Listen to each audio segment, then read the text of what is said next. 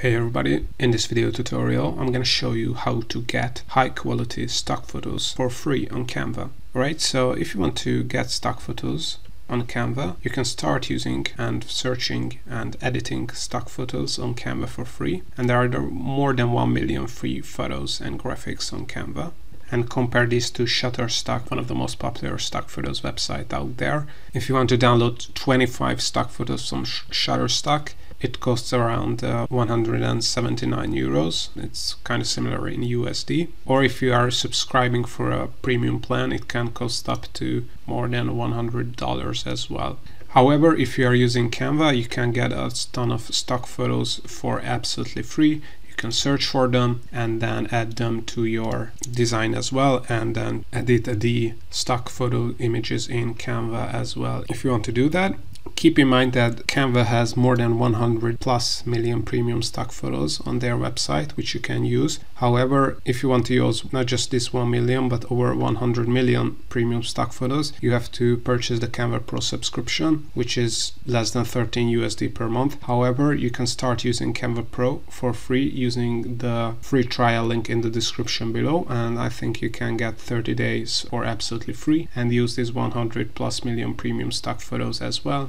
and you can also use all the premium features of Canva as well so the background remover magic resize tools and a lot more. As you can see you can also get stock videos with the Canva Pro subscription. So in all this is how to get Canva Pro how to get premium stock photos for free using Canva